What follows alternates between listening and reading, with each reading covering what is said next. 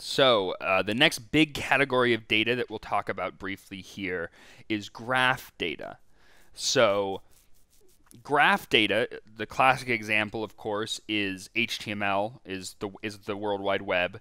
Is graph data is defined by as a graph. It's defined by nodes, which are uh, our vertices in our graph. So every web page is a node, and then an ed, a set of edges, which point from one node to another. And those edges can be one directional, like here, or they can be bidirectional, here. And then in addition to edges and uh, nodes, edges in some graphs have weight. So in this case, this count for if it's an HTML website, this might be a count of the number of times that website, this website here, links to this website here. So it links five times here, but only two times here. So when we're dealing with graph data, and we won't talk about this in great detail because it's sort of its own sub-problem that we don't have a lot of time to cover, but it's good to be aware of. Um, when you're dealing with graph data, you have to put a lot of thought into how you capture the relationships between the nodes, how you encode your edges and, and vertices. Um, we have to sort of, you, you don't get the same kind of neat, you know, and there are n attributes that represent that can be represented by n columns, right? Each vertice can have any number anywhere from zero to an in to, to you know an infinite theoretically number of edges coming out of it.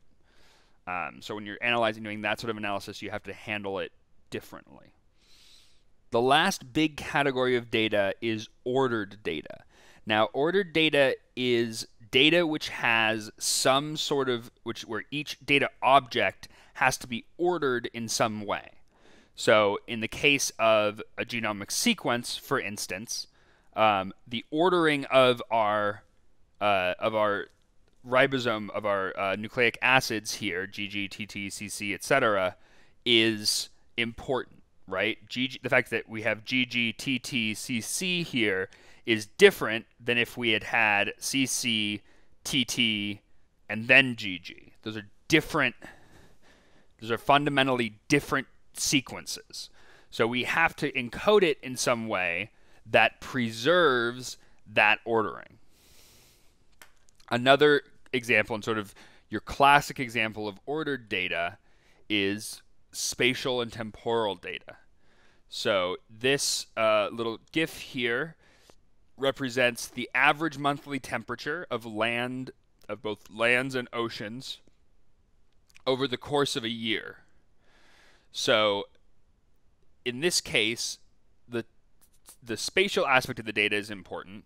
Where we are in the world certainly matters when we're looking at a data object. And in this case, if we were getting this data, every row in, say, a database table might be might have a location associated with it and a time, and there's an implicit ordering there, both especially to the time but also to the location.